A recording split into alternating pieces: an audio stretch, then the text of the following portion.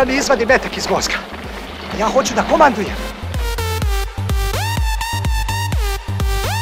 film Neretva.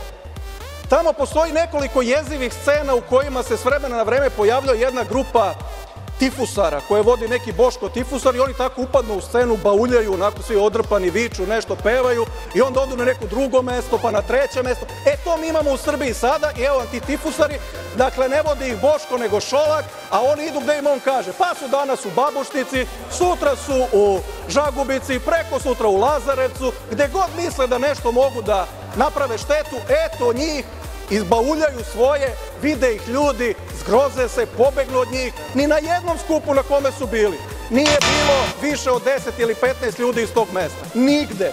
Dakle, putujući cirkus koji ide od mesta do mesta i pokušava da uređuje Srbiju. Neće vam proći